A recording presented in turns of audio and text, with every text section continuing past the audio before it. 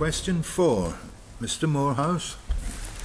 Uh, thank you, Mr President. I would like to ask the, um, the Minister for Environment, Food and Agriculture if we'll make a statement on the Fishing for Litter initiative. Call on the Minister to reply, Mr Boot. Thank you, Mr President. Fishing for litter is part of our national commitment to help reduce the amount of plastic pollution in our seas and has recently been relaunched as part of our single-use plastic reduction plan for the Isle of Man community, which was published as an action under the programme for government. It is an excellent project led by KIMO, an association of coastal local authorities whose goal is to eliminate pollution from the northern seas. On the island, the Fishing for Litter initiative provides Manx fishermen with reusable marine litter sacks to collect rubbish that is caught in nets during normal fishing activities. Filled bags are brought ashore and emptied into designated quayside bins.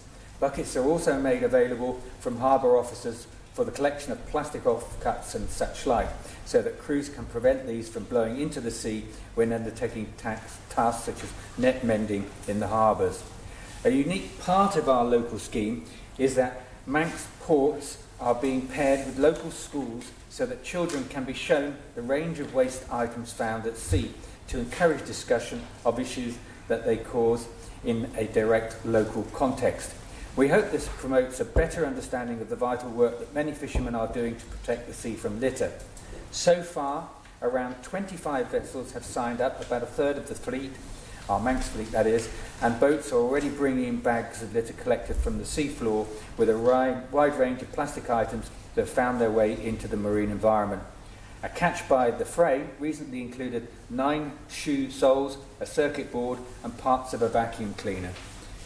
This initiative complements other work undertaken by a range of organisations on the island and on land and coast to clean up our environment and promote responsible actions with regard to our waste. It comes from joined up working between government departments together with the fishing industry who are engaged together to tackle this issue. We welcome other boats coming into the scheme with the hope that this becomes part of everyday working all around the island. Supplementary, Mr Moorhouse. Thank you, Mr President, and thank you, Minister, for such a detailed answer. In terms of the project, what's the overall cost of the initiative? And in January Tynwald, there was a real push towards environmental concerns and finding solutions. This is a really good initiative.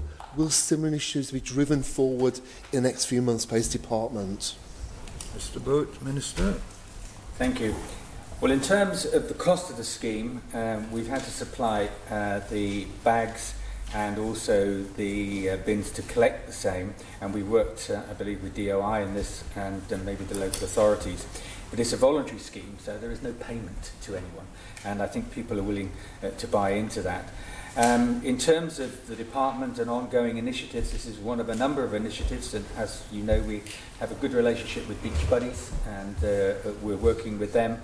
And there's also now a, an on-land version of that, and uh, we're working with them as well. So part of a whole raft of initiatives in the voluntary sector, I'm pleased to say, and the community seem pleased to buy into these things.